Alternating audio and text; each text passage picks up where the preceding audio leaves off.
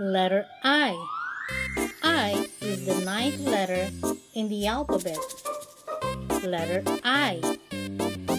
I for insect. I for ice cream. An insect is flying around an ice cream.